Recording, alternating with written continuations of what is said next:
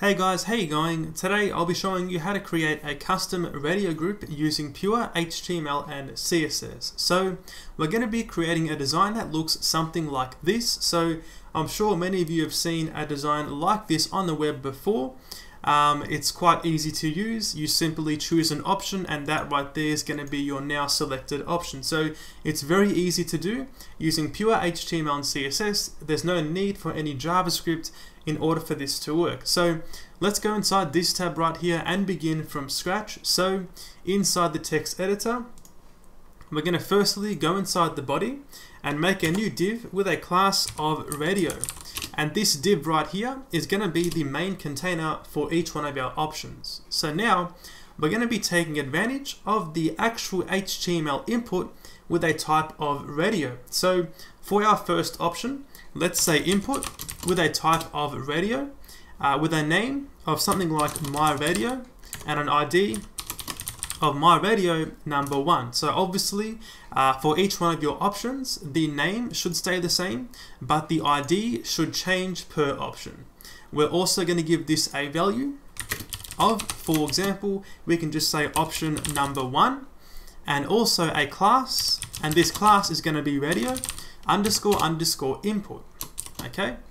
And the type needs to remain. So that right there is our is our whole input for the first uh, option, okay? And we're also going to be, just so you know, we're going to be hiding this by default um, with CSS later on. But anyway, uh, let's move on to just putting our label. Uh, and this for is going to be for my radio number one. So of course, uh, this for attribute here needs to match up with the ID that you specified right there. Um, in the label, we're going to say, for example, option number one.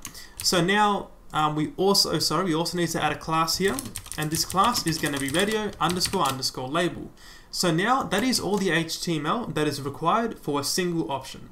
So saving this and then refreshing gives us something like this. So as we can see, uh, if I was to press on the label, we can see that uh, by pressing on the label, the, uh, the the actual radio button gets selected. So we are going to be hiding the actual radio input. So uh, let's just go back inside here.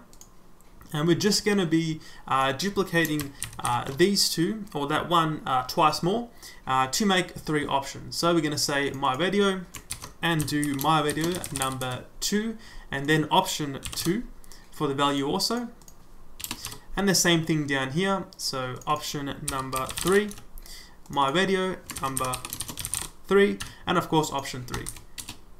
So now saving this and refreshing gives us something like this. So now let's move on to the CSS in order to make it look something like this. So um, inside the style tags, let's firstly just add a bit of a margin on the actual body for some space around the corners. Let's just say 20 pixels, okay? Let's also go down here and firstly target the radio container class and we're going to give this a display of inline flex. The reason for the flex is so that we can easily uh, position each one of our options um, in a row.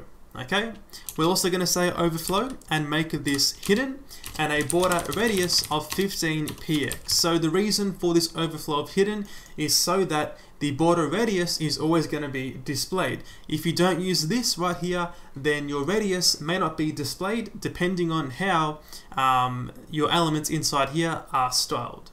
But anyway, let's also say box shadow. We're going to make this 0, 0, 5 pixels and then RGBA uh, 0, 0, 0 and then 0.25 for a 25% opaque box shadow.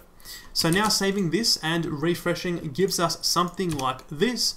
As we can see, uh, the main container is basically complete, or it is complete. Uh, we can move on to the actual radio labels themselves, or each one of these options, okay? So back inside here, let's firstly just hide the default input. So we can say radio underscore underscore input, give this a display of none, and that is all for the input. So now, of course, uh, this will now give us no actual HTML input fields.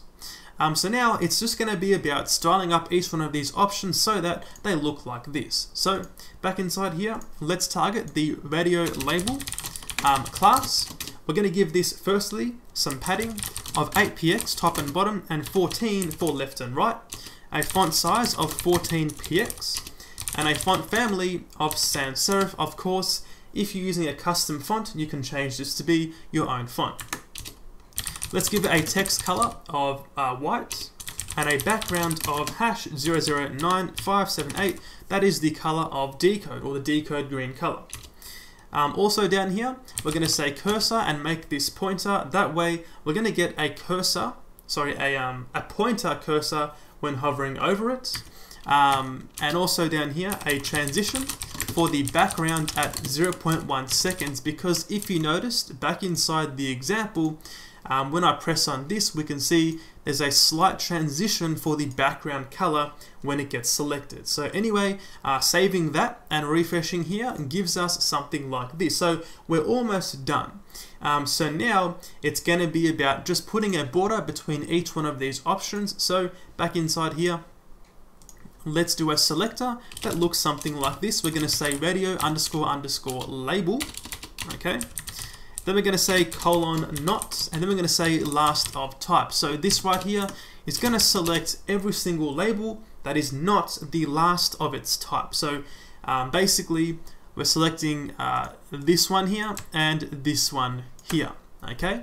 So for this, we're going to say border dash right, and we're going to say uh, 1px solid, and then I'm going to be using a darker shade of my dcode green color. That's going to be 006 and then B56. So of course a darker shade um, of this one right here. Saving this and refreshing gives us something like this, so not bad. Um, so now we can move on to the final part of this video and that is going to be uh, making it so when you press on this it is going to um, change the background color. So back inside here let's go down here. I'm going to say dot radio input.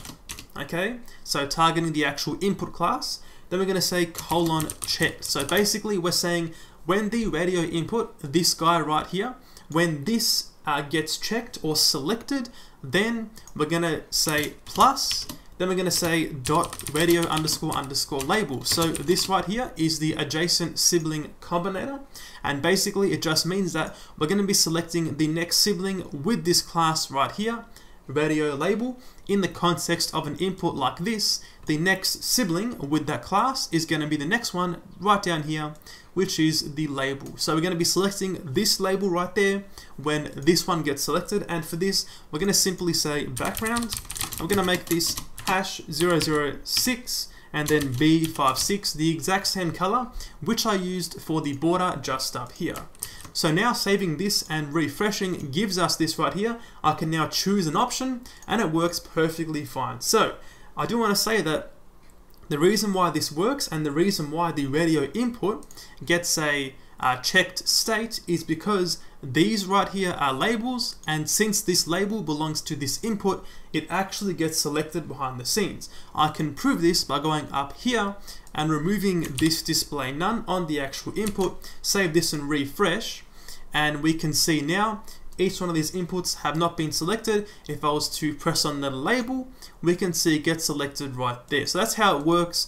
Um, very easy to do using pure HTML and CSS. Um, and there we go. That's how to create a custom radio group. Um, thanks for watching, guys, and I'll see you later.